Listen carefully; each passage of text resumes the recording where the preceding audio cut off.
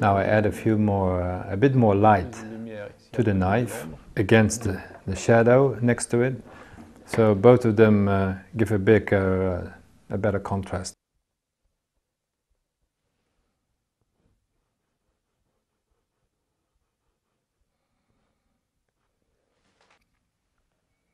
A tiny highlight on the knife, which makes it stick out even more.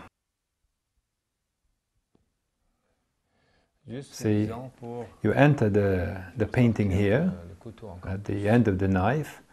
You go in there, follow the apple, and then make a walk, if you like, through the painting.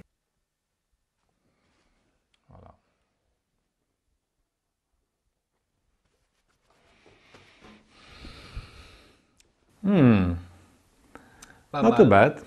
Yeah, c'est pas mal. Non, I'm quite happy with this. Euh, je pense que ça sort bien. Nice une bonne, composition. euh, composition. Now I just want to euh, to add a shadow here of the coffee pot, derrière là, sur um, and then. I'm going to sign. Et puis je sais. Yeah.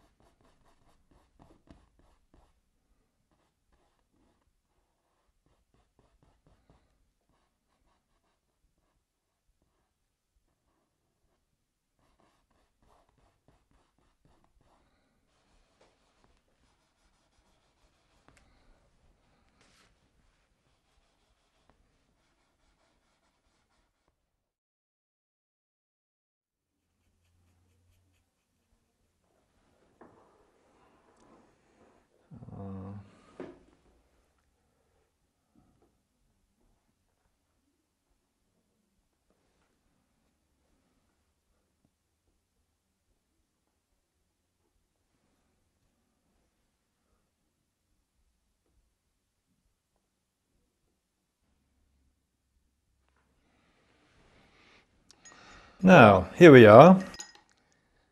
We have finished our painting. terminé.